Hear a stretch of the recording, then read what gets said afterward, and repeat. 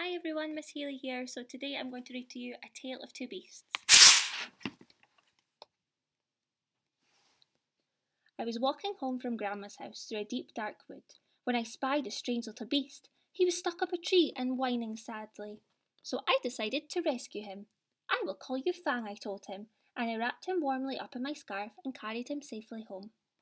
I gave him a lovely bath and a gorgeous new hat and jumper, and a delicious bowl of fresh nuts. I made him a beautiful house and gave him Lord Rex to play with.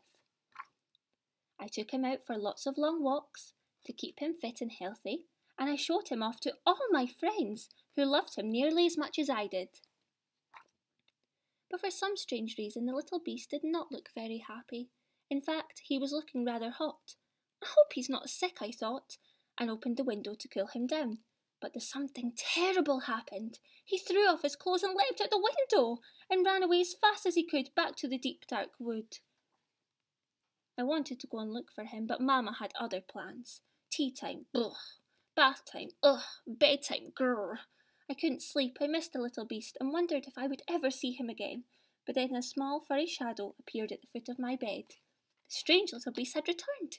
He seemed quite pleased to see me, and I began to think that maybe, just maybe, he wasn't that strange after all. I wonder why he came back. A Tale of Two Beasts, Part 2.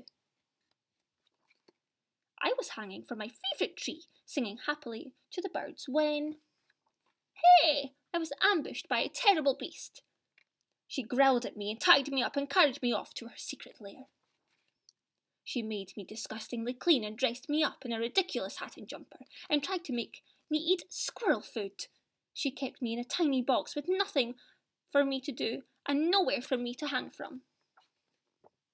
She made me walk backwards and forwards and backwards again for no reason whatsoever. She showed me off to a herd of even wilder beasts who were just as terrible as she was. I had enough. I made a cunning plan and made it str- and made it and put it straight into action. Free once more, I raced back to the deep dark woods before the terrible beast could catch me. It was peaceful in the deep dark woods, a bit too peaceful perhaps, and also a bit wet, and weather like this one could do with a nice warm hat. I snuck back to retrieve it under cover of darkness. The terrible beast was waiting for me, she seemed quite pleased to see me, and I began to think that maybe, just maybe, she wasn't that terrible after all. The end. So I hope you've enjoyed your story today. P2, stay safe and see you soon.